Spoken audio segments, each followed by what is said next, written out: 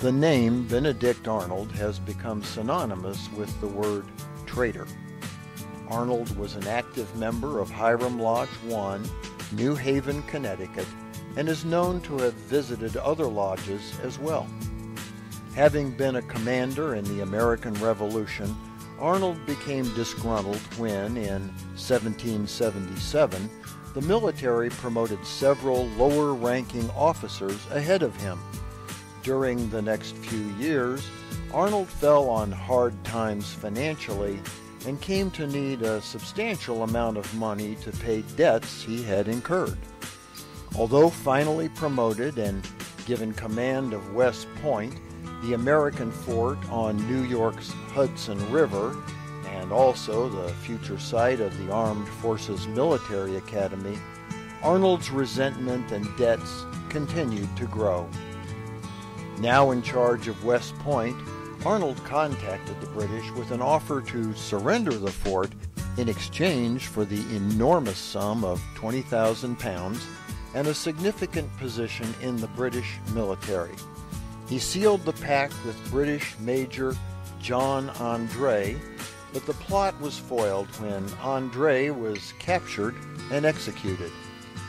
This turn of events exposed Arnold, who fled to the British side, where he commanded a few battles and then returned to England.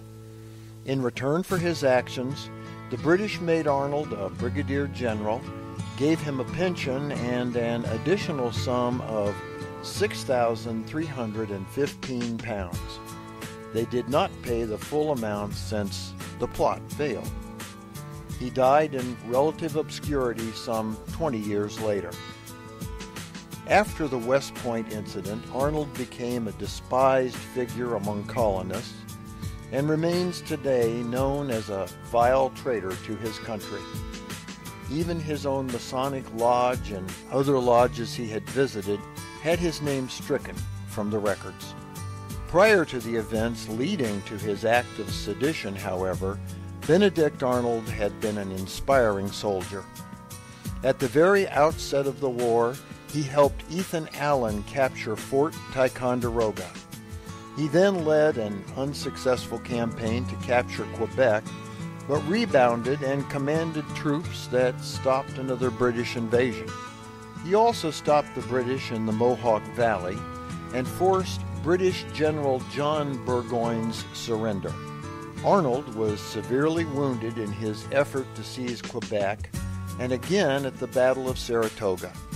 His left leg was shattered in both instances. He was wounded a third time in the same leg at the Second Battle of Saratoga in October 1777. The third wound was so severe it nearly killed him, Arnold himself saying it would have been better if he had been hit in the chest. After the third injury, Arnold refused to have his leg amputated, and the crude repairs to his wound left the leg two inches shorter than the other. Seven months later, in May 1778, Arnold went back to service at Valley Forge and made a heroic entrance to the wild cheers of the troops who had served under him at Saratoga.